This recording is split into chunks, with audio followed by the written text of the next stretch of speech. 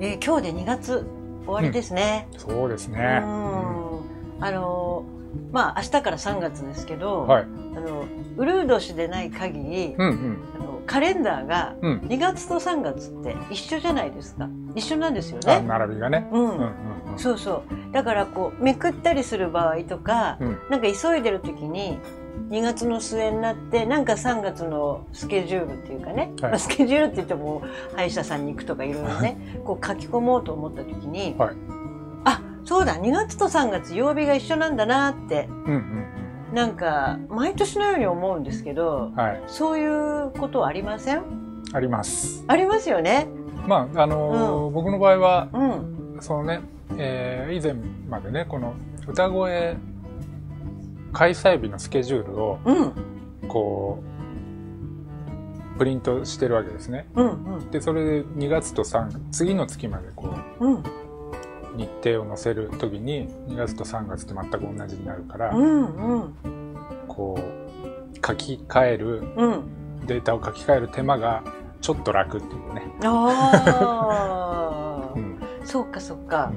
でも私ね、毎年、この月末になると2月末になるとあ2月と3月一緒なんだって毎年のように自分で独り言のように言ってるんですけど、うん、まあでもそんなことばっかりですよね。そうですね。毎年言ってることばっかりですよね。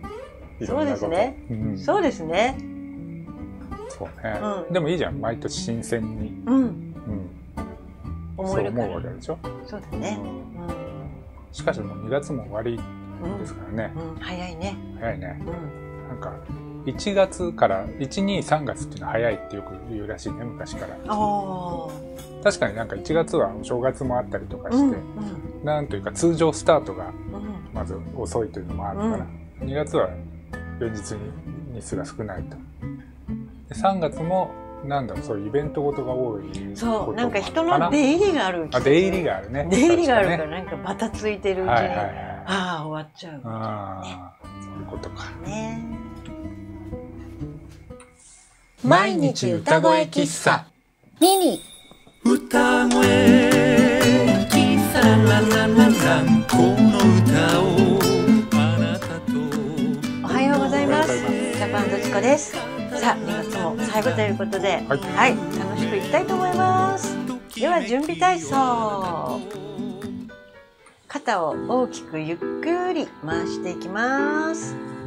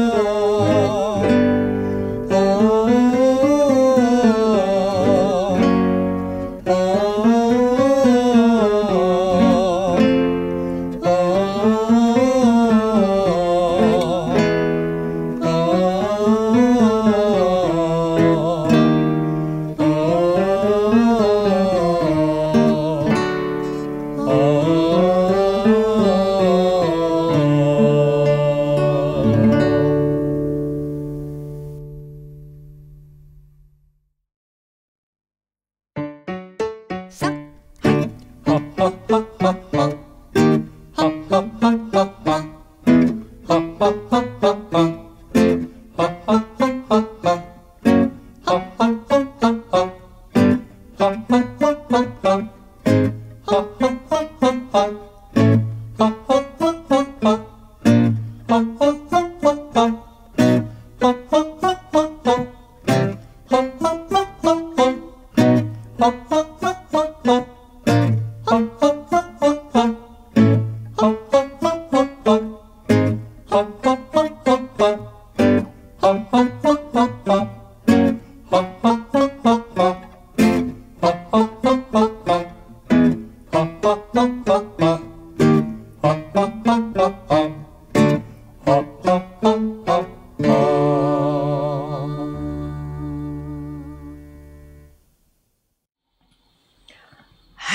吸してください。そして水分補給。それでは歌っていきます。はい。春よ来い。命令帳。命令帳ですね。春よ来い。来い。うん。ただこの作詞をした、うん、えー、相馬漁風さんというね、えー、都の西北とかの歌詞書いてる方ですけれども、はい、うん、えー、新潟県糸魚川市の出身ということで、やっぱり、まあ、雪深い地域ですから、あの、春を待ちわびる気持ちというのがね。うん、そうか。うん。きっと、まあ、こう、東京に暮らすものよりも、本当にこう、真に迫っていると言いますか。そうですよね。うん。本当にこの歌詞の通り、あの、こう、外に出たいと待ってるっていうのがね、あの、本当にそういうね、うん、冬の間外でなかなか自由に遊べないというのもねあるのかもしれないですね。あまりにも雪深いとね、はい、でももうすぐそれがそこまで来ているという、うん、からなんかね、うん、明るい気持ちになりますね、そうですね、はい。では春よ来い行きましょう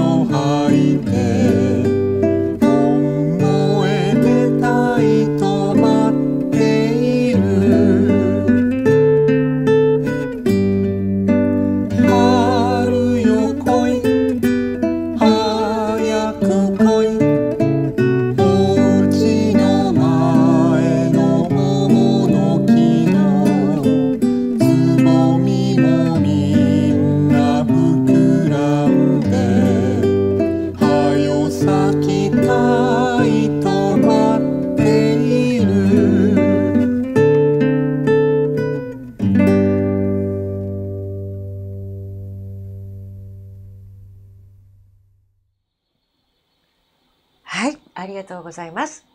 さあ、2曲目です。はい、2曲目はあなたと共に。あなたと共に。うん、言い直しまして。えー、映画の主題歌ということでね。はいうん、この映画は、えー、今で言うと、まあ、いわゆる、えー、メロドラマ風といいますか、うん、うん、のものだったそうですけれども、えー、岸恵子さんと、えー、佐田啓二さん、はい、中井貴なんかもうその時点で、おしゃれなそうだね。おしゃれなオーラが漂ってますよね。ね。うん。でなんかそのメロドラマっていうとさ、うん、メロドラマって言葉今の印象だとやっぱりなんかその、うん、甘い恋愛ものという感じですよね。うん、でもなんかねもともとは、あのー、えー、音楽と、こう、お芝居が融合したようなものを言ってたらしいんですね。ええー、うん、本当？じゃあ、メロっていうのはメロディーなの？えっ、と、まあ、そうですね。結局はそういうことで、もともとは、うん、あの、メロディーというか、そこにもつながるんだろうけど、うん、ギリシャ語で、メロスというのが、うん、えー、音音楽。それ元をたどるとメロスというのが、えー、詩のことを指してたそうなんですけれども。うん、うん、です。ただまあ詩のことが後々まあなんかそういうねあの叙情詩をこうリュート今でいうリュートのようなものに合わせてね当時リューラって言ったのかな、うん、に合わせて語られたから後々そのあの詩のことは、はい、そこから、えー、リューリカ今でいうそのリリックとかね、はい。うん、につながる言葉だと思うんです。そっちで呼ばれるようになったんで、うん、まあそのメロスメロの部分がなんかその音楽みたいになっていったのかもしれないですけど、うん、なんか急にもう文化的な、ね、素敵な話で。うん、うん。だから今でいうメロドラマって言った時の印象とはちょっと違うかもしれないですけどね。ね。うんうん、だなんかそういうあのこう音楽とその劇がね、うん、こうすごくこううまく融合してるものって考えるとなんかこの歌もまたそこにはすごく似つかわしいと言いますか。そう、ね、うん、はい、こんな感じしてきますね。では行ってみたいと思います。はい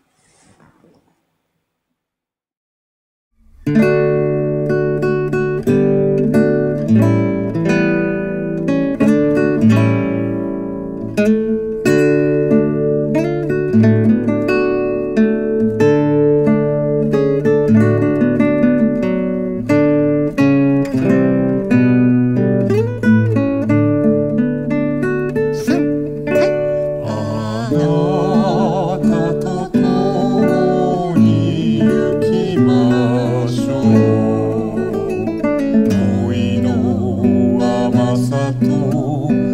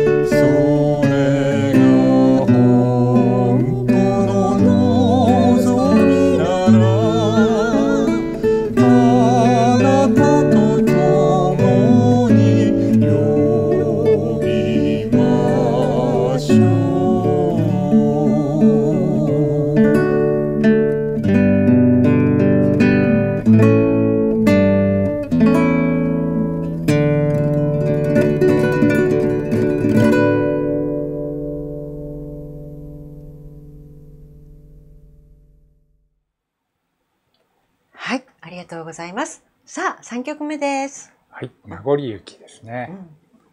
うん、名残雪というと、なんかそのまあこれ別れの場面をね、歌ってますから、まずこれも駅での別れだから少し前にねよくそういう駅。駅の駅シリーズ、ね、駅シリーズありますよね、ね、記者シリーズありましたけど、はい、うん。まあ、そんな感じとも相まってなんかその、うん、儚いものといいますか、うん、そうね、うん、なんかそんな雰囲気ありますけど、うん、なんでしょうね。やっぱりこのもうあのー、時期にまあ、雪も溶けてしまうとか、うん、うん、消え去ってしまうというところと、うん、この男女の別れっていうのが、うん、かかってるんでしょうけれども、うん。なんかこの時期のやっぱり雪というのは、えー、そういうね儚さみたいなものがあるなと思うんですけれども。何と言いますか。あ1曲目の「春よ来い」のね、作詞をした相馬漁風さんという人は、はい。えー、あの「カチューシャの歌」の歌詞も書いてますけれども、まあ、実際に2番以降なので、えー、1番は島村宝月さんっていうねまあ、お芝居の主催であり、プロデューサーの人が書いたわけでせめて「淡雪溶けぬ的」っていうね淡雪っていうのもやはりこういう時期の雪なんだろうなっていう気がしますし、うん、その儚さ雰囲気っていうのがねこの名残雪っていうのはすごく感じられる歌だなと思いますが、はい。うん、ただまあ一方であのその寂しい思いもあるけれど、うん、あのその後にはやがて春が来るという面もあるんでね、うん、うん、まあ、そんな時期の複雑な思いといいますか。そうですね、うん、じゃあ行ってみましょう。はい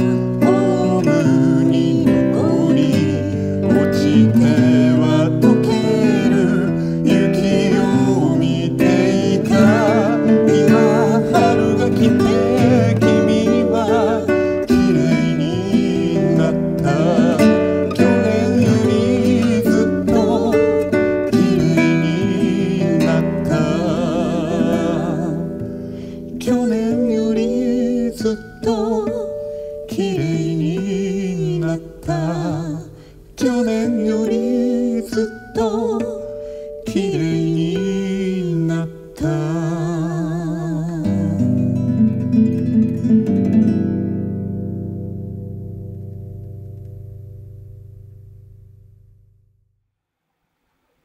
はいありがとうございます。さあではお便りに行きます、えー今日のお便りは2月14日にいただいてたお便りなので、バレンタインデーおでしたね。うん。はい、えー最初は山山さんからです。はい、えーそういえばバレンタインデーでしたね。中学生まではドキドキしたものですがう、ん、頑固な昭和人間の私には 昭和に未だに義理チョコの意味がわかりません。意味がわかりませんっていうのがいいよね。そうですね。本当ですよね。まさに昭和人間。なんとか人間っていうのもおそうだね。面白いね。まあまあ、私たちも昭和人間なんでね。そうまあ、ですね。本当義理チョコに関してはね、取り扱いが難しいなと、確かに思います。うん、うん。そうだね。この場合の義理っていうのはなんか義理と人情とはまた違ったなんかだもんね。そうでしたね。はい。さあ、そしてもう一方、麦わら星さん。はい。えーバレンタインデーはうん家で足の踏み場もないほどにうん。チョコレートが溢れ返っていましたので、ちょこっと味見してご近所にお裾分けするのに大わらわでしたというのは嘘でして嘘でして、えーはっきりこれまでと、はっきりと嘘をついてあげる。はっきりと嘘をつきついてきましたよ。これまで職場での義理チョコがせいぜいでした。本命はまずもらったことがありません。とほほー。てんてんてんです。うんまあそういうもんですよね。大体。はい。うん、人生って。うんはい、えー僕はナイチッチは昭和34年ということなので、うん。私が小学3年生の頃になります。でも実際に聞いたのは高学年の頃だったように思います。その頃の我が家のラジオは真空管ラジオでした。ザーザー音が懐かしいです、えー田舎かっこ鹿児島の夕方のラジオ番組で白山すずめというのがありましてうん。夏目から当時のヒット曲をよく聴いていました娯楽も少なく外で遊ぶか近所の悪ガキ連合によく追っかけられて逃げ回っていました。でも不思議なもので遊ぶ時は一緒でして一緒でした。あー。そのさ、うん。白山うんすすずめずめうん。っていうラジオ番組ってさ、うん。あの今もやってるらしいんだあの本当？うん、始まったのが昭和20年代の終わりぐらいなんだけど、うん今もやってるのよ。すごいもちろんなんかそのもう大時代に応じてね、うんこう雰囲気が変わってるのかもわかんないけど、うんうん、なんかちょっと興味深いですね。そうですね。すごいすごい。はい。えーそしてエーデルワイスもとっても好きな曲で、うん中学生の時、確かジュリー・アンドリュースのサウンド・オブ・ミュージックを見て感激したことを覚えています。ああ、上野駅は私の場合、高校を1年で中退して名古屋駅に降り立ちました。おエーデルワイスも上野駅もハーモニカにとっても合います。というお便り。いやーもうこのすごいなんかこの一行の中に、うん。すごいこの人のあのなんて言うんだろう。んうん。う人生のうん、分岐点だったりそうだね。またそのすごい時期っていうのかな、うんうん。が含まれているっていう感じがしてそしてねこのエーデルワイスもねはい。あのそのサウンドミュージックを見た、うん。ん。このやっぱり最初に子供の頃こう外国のうん。ものを見た時に、うん。全然世界観っていうかタッチっていうかはい。違うからうん。やっぱり衝撃を受けるっていうかね、そうだね。私もこの私の頃はあのガメラ対ゴジラとか、うんうん。ああいうのを怪獣映画とか妖怪もの映画館に見に行ってたんだけど、うんうん。なんか親に無理やり「ウィーン少年合唱団」っていうのを見せああ、ドキュメンタリータッチそうそう。うん。なんかそのやっぱタッチの違いに何かこう、言葉にできないああ、そうだね。衝撃を受けました。うんうんうん。うん子供のうん。ね、どこに整理していいのかわからない気持ちと言いますかね。知らないこれみたいなね、うんうんうん。うん。でも素敵みたいなものを感じたのを思い出しました、うんこの文章でね。はい。そんなわけでございます。はい。バレンタインもうつながったかな？もうもうバレンタインああります。うえエスポワールさん。ありがとうございます。はい、ありがとうございます。